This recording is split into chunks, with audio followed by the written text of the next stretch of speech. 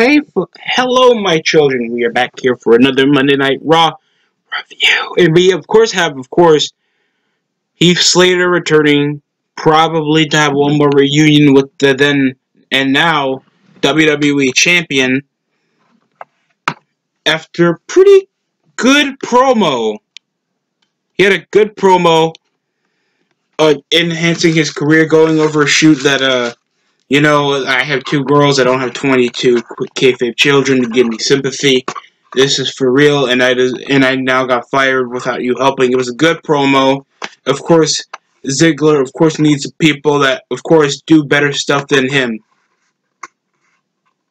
To, of course, go over a feud that nobody actually cares about. And I was more entertained with the Lashley and McIntyre feud that they could have kept until SummerSlam than this BS. That, of course, we just need different challengers for McIntyre. Why not than a former World Heavyweight Champion?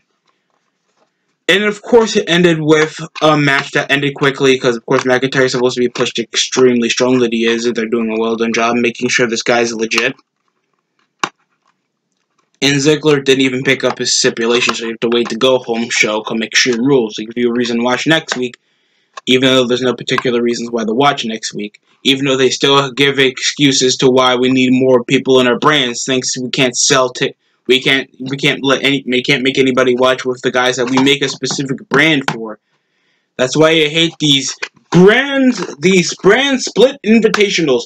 Or we don't have any good ideas, so why not just mix up the roster to make sure we have inconsistency in hand?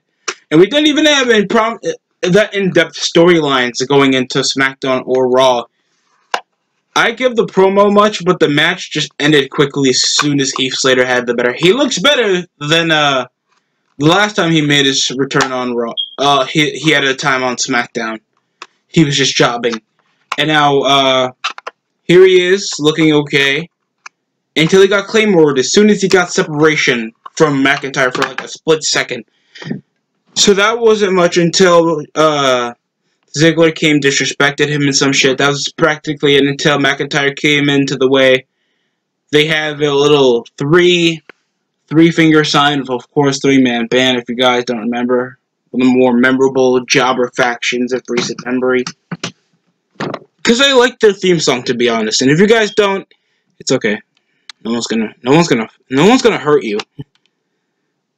Course, we had uh, Kairi Sane returning over uh, foreshadowing of Asuka after after Bayley and and Sasha walked off out of a promo trying to speak to the crowd, even though they're impromptu hired NXT crowds. So it feels completely robotic whenever they interact to a heel or a babyface. While a clap in the middle of a babyface, they'll boo in the middle of a heel. So there's like no dynamic or personality, even though these guys are literally had experience and have been fans of the product for like how long, or at least been a wrestling been in a wrestling crowd before. So I don't understand why can't you just be turn your brain off and make sure people they feel like this is a real crowd. I don't know why they make it so robust to make sure we know who's a healer or babyface because you can tell by the tone or at least how they behave what a healer babyface is. I've always found it corny like if you can make a hired crowd go ahead, but at least have make them like feel like they're actually watching the show. It ended up in a saying actually having a decent uh the best part was that big forearm smash from the outside, a running meteor off the apron. The match like went for like three commercial breaks. I didn't mind it because we haven't seen Kairi on uh on television since she killed wish it was killed by Nia Jax and uh, whatever, whatever. It, was just an okay match. It was good to see Kairi Sane on top and Asuka to get back her Kabuki Warrior buddy, even though there's been so many teases of her career ending, I'm sure, because of course she got married. She, of course, has so many injuries in hand by a reckless wrestler and all the stuff that they have going for her since she's uh, been uh, on IR for a bit. So it's just been rough to. I've been hearing all these rumors and I can't just be believing things off the dirt sheet. Next up, we of course had the KO show that had Seth Rollins going over it. And Rey Mysterio, after winning a tag team match involving, uh, I mean, last week, uh, he got to pick up the stipulation. It was an eye for an eye match. Now, there was this, uh, this was this was a funny tweet by Jer Chris Jericho that, of course, if you guys don't watch AEW Dynamite, it's on on TNT.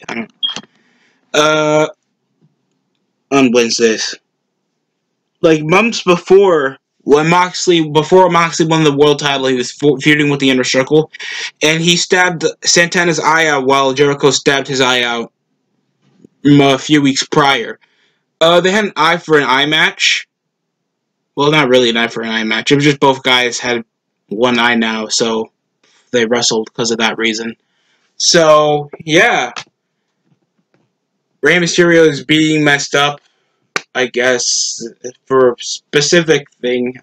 I don't know why they couldn't just make it like Dominic uh, Mysterio versus him and probably Murphy because I haven't seen Austin in a while. Because Austin literally had no point even being in the main roster. Because the other guy, other than his look, uh, he he looks good. The guy just has, hasn't any personality, and he has the most generic move set of all time. He'll do a drop kick, a clothesline. He'll take a few bumps, and then he'll do this TKO finish. He only picked up like a few wins when he was with Andrade and Garza, and he just went off the deep end. It was supposed to give him more exposure when he was in the faction with Rollins, and I was like, where the hell's the authors of pain and all that crap? It just feels like they're just doing this for the sake of doing this so they can have some bodies on the roster, thanks to the immediate firing or it impacts turn the lottery in the aspect of picking so much mid-card fodder that it's enough for them to excuse getting rid of Brian Cage Karrion Cross, Scarlett, and the biggest star that they currently have on Impact right now took the previous World Heavyweight title and Eddie Edwards that's now fat. So chances on any of that actually succeeding to get some ratings for AXS TV has more thing has bigger chances than than New Japan Pro Wrestling going mainstream in the United States. I'm just saying. That's just my opinion. Uh, Kevin Owens, Kevin Owens did tag with Mysterio uh, against Murphy and Rollins in an okay match. It did end up with a stunner, clothesline, clothesline. Uh, they did do back and forth. I didn't care about the promo, what happened the KO show. If, of course, had to deal with Rey Mysterio saying, You mess with my child, me, a familia. And Kevin Owens just is a better promo whenever he's a heel. I don't care about his promo he did on Shane. Anybody else could have done that promo because of the way Shane was running things on SmackDown from back in the day. I don't give a crap. That's how it was. I don't care.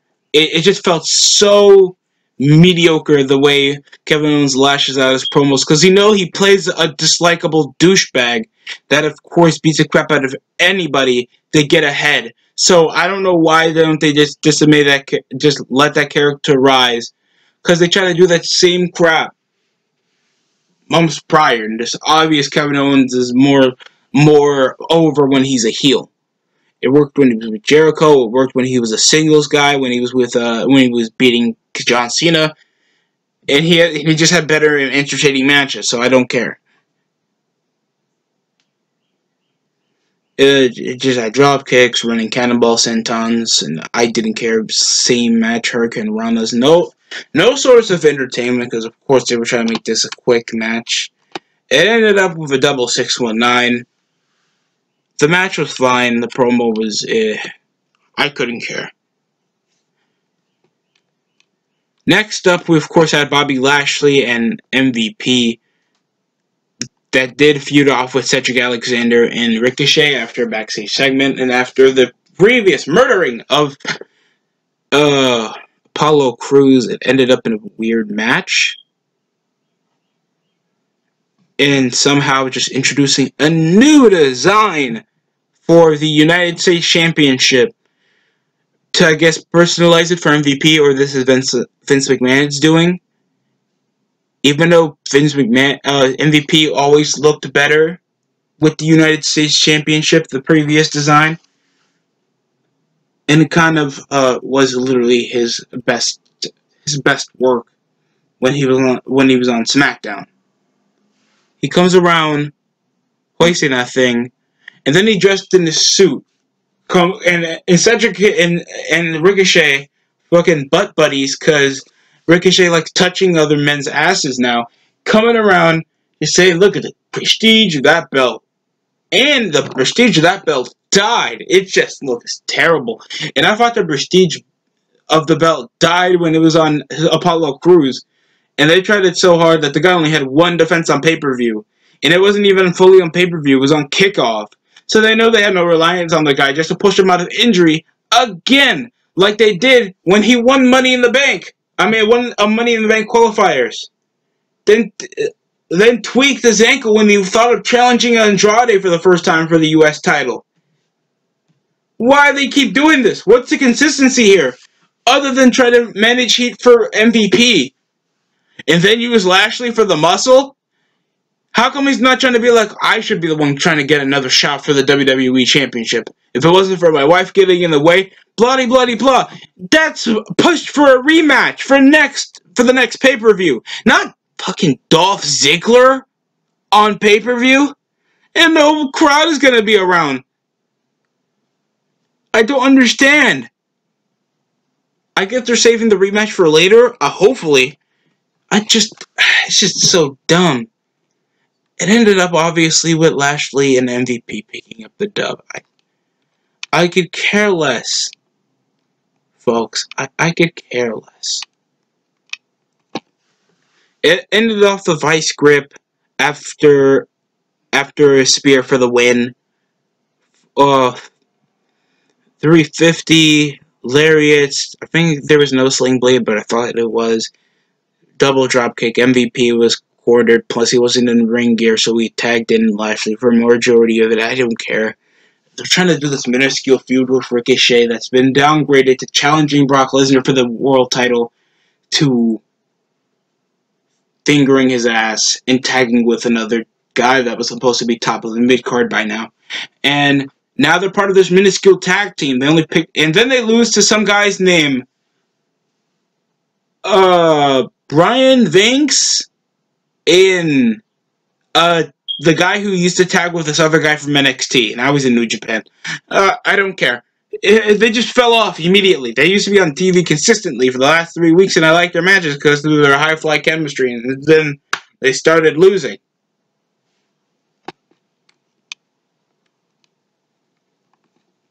Viking Raiders tagged with the Big Show against Randy Orton, Andrade, and Garza. I didn't mind their promos at all. Uh, they may they keep degrading the Raiders like we are ready for the raid, but we act silly and shit. It just just depletes like any reason to treat these guys as badasses.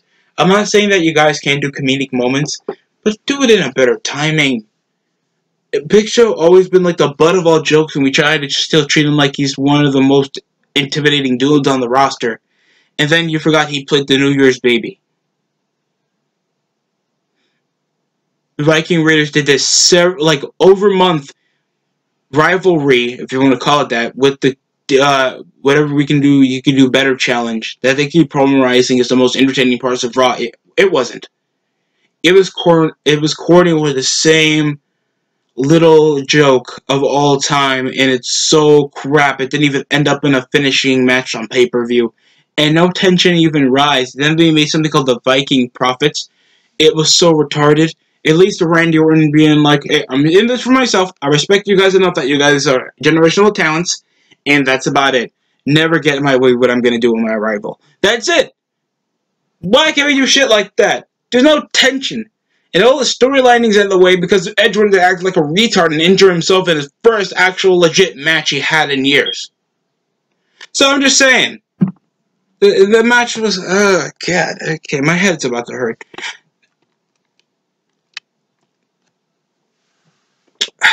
cheap shots over to the corner whenever the ref was on right.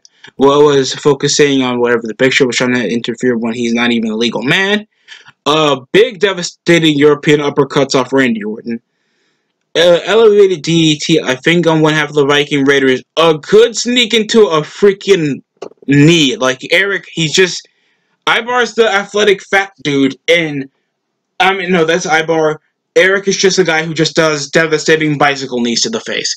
That's basically the thing. There was, uh, of course, uh, a double a double stand uh, car a cartwheel for no reason. He didn't even like attempt to like something like a clothesline or anything. A KO punch nearly sufficed. An RKO on Ivar for the win. Uh, on Erik. Randy picked up the win. With Big Show, of course, pissed off because he was taken out the taken out the ring. And they did good cancelizations of the Viking experience. It was an okay match. Forgettable for probably what, what are they going to do? Like a chair match at Extreme Rules? No way, it's not TLC yet. Because, of course, TLC is just for the most generic PG way to do any type of violent feud. So they're probably going to just do a street, uh, a, like a street fight or a steel cage match. Whatever the hell they're going to try. Next up, we have Billie Kay against Ruby Riott, And they still tease the factoid that Liv Morgan is trying to tease reuniting after literally having uh, leadership issues with Ruby Riott, And plus, Sarah Logan's out. So probably they're trying to do a cheap reunion with, of course, Ruby Riott and Liv Morgan after literally having a several week feud that ended up with Morgan, uh, Ruby Riott losing every freaking match that she had. So what was the point of doing this with the Iconics? You pin, you got pinned against one half, and then you get pinned against the other one. What she do with that turnbuckle move, drop kick thing, and then she loses off some kind of dumb, uh, Falcon Arrow. The match ended as quicker as me getting ghosted. It's that sad. It's no, no one cares. Ruby Riott is consistently tacked away as a jobber, and she looks like any girl that you probably got stood up on in a hot topic.